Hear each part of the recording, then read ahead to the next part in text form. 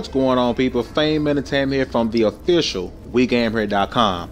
If you missed my last video, please go back and check it out. Don't forget to like, share, and subscribe.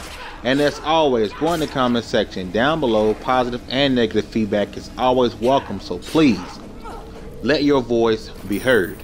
Now, Gears of War fans, I know you guys are absolutely excited. I know Gears heads, Gears of War fans, Gearheads are some of the biggest fans out there. I mean, people getting tattoos left and right. You guys are excited. You guys love Gears of War. You have a great passion for it. And we all know Gears of War 4 is being worked on.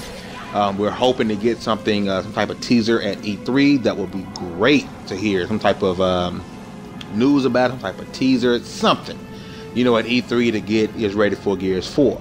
Now, just recently uh, has come out that there will be a, as a report from Polygon, that there will be a Gears of One remaster, and that got me thinking, why just the first one?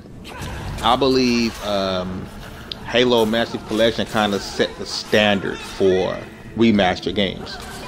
You know, four games, sixty bucks. And I thought the same thing could have happened here with the um, with uh, Gears of War. I know the whole Marcus Phoenix collection was something that was fan made, and Rod Fergusson had come out and said there will be no Marcus Phoenix collection, but a Gears project. And then so now we hear that it is the first Gears remastered. Like I say, I believe Halo Master Collection, as far as what it was supposed to be, I know it had its issues.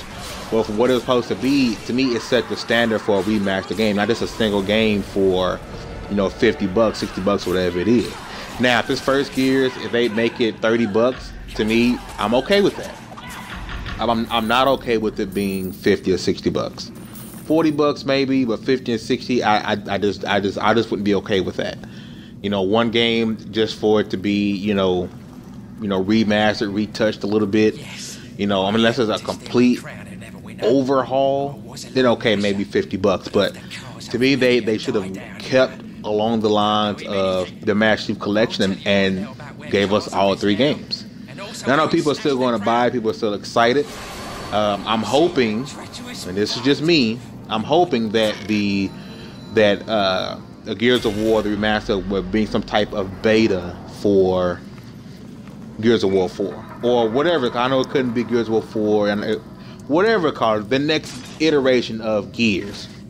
My hope is that if you do make this game, you know, 50 bucks, which it can't be 60, you know, to be remastered. To me, I think 50 bucks is the max it can go. Would it only be in one game? If you put some type of beta access for the next iteration of Gears, that would be absolutely amazing. I could see that E3, them coming out and showing off the Gears, first Gears, and then say, hey, you know, for the, you guys who bought this game, we're giving you access to, and then boom, here's what a, the next iteration of Gears, a teaser. I think that would be great.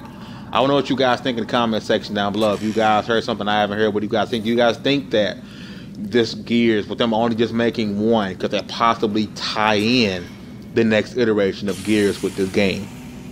Let me know what you guys think in the comment section down below. Once again, I am Fame Entertainment from the official WeGameHere.com. And I'm out.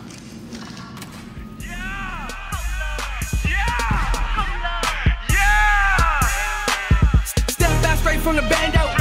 Niggas been stacking them bands though. I stay in the hood like a bando. And I look like money, no camo. Yeah, camouflage behind T. Hustle, souped up, Clark Kent. I am maintained. The fuck with you lanes. My side bitch your main. Blame it on fame. This is no fake